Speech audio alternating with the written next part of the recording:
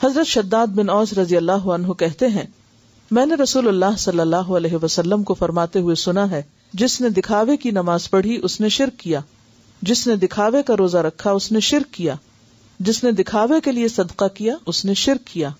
इसे अहमद ने रिवायत किया है। रोज़े की नीयत दिल के इरादे से है। मुरवजा अल्फाज व बिसौ में गदिन नवई तो सुन्नत से साबित नहीं। क्योंकि नीयत जबान पर नहीं होती नीयत, दिल में होती है। और रोज़े की नीयत के लिए कोई भी अल्फाज नबी सल्लल्लाहु अलैहि वसल्लम से साबित नहीं है। फ़र्ज़ रोज़े की नीयत फजर से पहले करना ज़रूरी है। ये बहुत अहम बात है। फ़र्ज़ रोज़े की नीयत फजर से पहले करना ज़रूरी है। अन हफ्सत रदी अल्लाह अनहा अन नबी सल्लल्लाहु अलैहि वसल्लम क़ाला, मन लम युज्म सियाम क़ब्ल अल फजरी, फला सियाम लहू रवाह अबू व तिरमिदी हज़रत हफ्सा रज़ी अल्लाह अनहा से रिवायत है, नबी अकरम सल्लल्लाहु अलैहि वसल्लम ने फरमाया, जिसने फजर से पहले रोज़े की नीयत न की, उसका रोजा नहीं। इसे अबू दाऊद और तिरमिजी ने रिवायत किया है। जैसे बाजुकत लोग क्या करते हैं? कि अच्छा अभी तो मैं पाक नहीं हूँ, शायद दस बजे तक हो जाऊँ तो फिर मैं रोज़े की नियत कर लूँगी। तो ऐसा नहीं होता।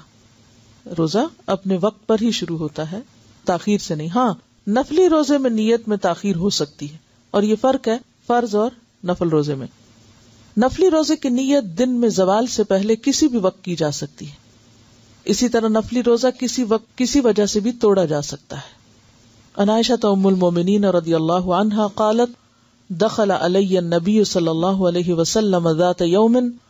फकाल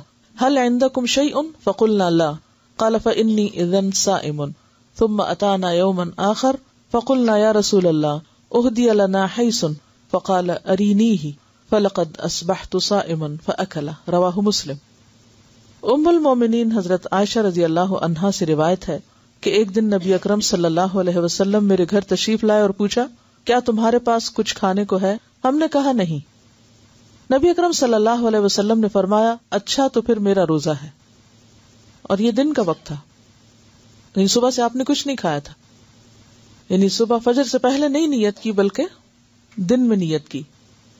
किसी और दिन फिर नबी अकरम सल्लल्लाहु अलैहि वसल्लम हमारे घर तशरीफ़ लाए। मैंने अर्ज़ किया, या रसूल अल्लाह सल्लल्लाहु अलैहि वसल्लम, हैस यानी हलवा तोहफे में आया रसूल अल्लाह सल्लल्लाहु अलैहि वसल्लम ने फरमाया तो लाओ, मैं सुबह से रोज़े से था और आपने दिन में उसको खोल दिया। यानी अगर नफली रोज़े से हो इंसान, और कोई भी वजह हो, या कोई भी वक्त हो जवाल से पहले, जवाल के बाद तो उसको खोला जा सकता है। मसलन आपने रोजा रखा हुआ आप किसी के घर गए, वो आपको खाने के लिए कहते हैं। और अब आप ज़ाहिर नहीं करना चाहते कि आपने रोजा रखा था और आप नफली रोज़े रखते हैं तो आप खाने में शरीक हो जाए रोजा खोल दे। ऐसा किया जा सकता है, ऐसा करना गुना नहीं। लेकिन रमज़ान का रोजा जो है, उसे आप इस तरह न तोड़ सकते हैं और ना ही उसमें ताखिर कर सकते हैं। माना हुआ रोजा जो है, वो फिर फर्जी रोज़े के मुताबिक हो जाएगा। यानी नफली रोज़े और फर्जी में फ़र्क है, यानी वो फ़र्ज़ के बराबर हो जाता है। फिर इसी तरह आप देखिए, इमाम अहमद कहते हैं कि सारे महीने के रोजों की कठी नियत भी आप कर सकते हैं। जैसे रमज़ान शुरू हुआ तो आप क्या नियत करते हैं? कि मैं पूरे रोज़े रखूँ। तो गोया आप अगर हर रोज सुबह सवेरे उठ के ये नहीं कहते कि मैं रोजा रख रहा हूँ तो आपका शहरी के वक्त उठना जो है, वो किस इरादे से उठना है?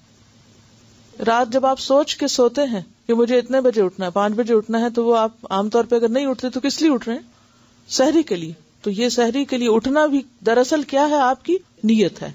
और नीयत जो है वो दिल के इरादे का नाम है। इसी तरह बाज लोग ये पूछते रहते हैं कि क्या हम शवाल के रोज़े और कजा रोज़े इकट्ठे रख सकते हैं? यानी एक ही दिन में दो नीयतें इकट्ठी कर ले तो दो नीयतें बैक वक्त जमा नहीं की जा सकती, क्योंकि एक फ़र्ज़ है और एक नफल है। फ़र्ज़ रोजा, उसकी नीयत आपको शहरी से पहले करनी होगी। यानी फ़र्ज़ रोजा खा आप रमज़ान में रख रहे हैं या आप कजा रख रहे हैं या आपने कोई नज़र मानी थी और वो रोजा रख रहे हैं, उन सबको आपको, यानी वक्त शुरू होने से पहले आपको नियत करनी है। ठीक है?